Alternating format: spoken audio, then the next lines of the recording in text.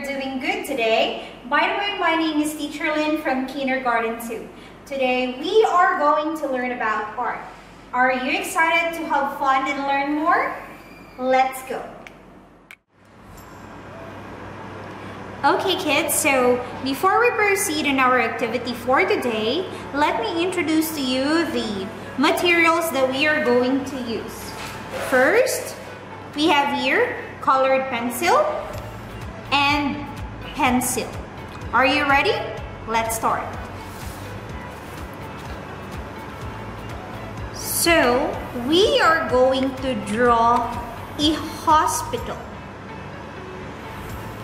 A hospital is a place where you can check yourself if you're sick,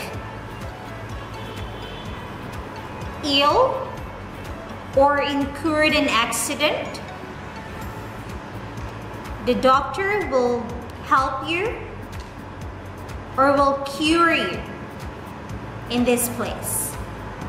So after you draw a picture of a hospital, I want you to color it.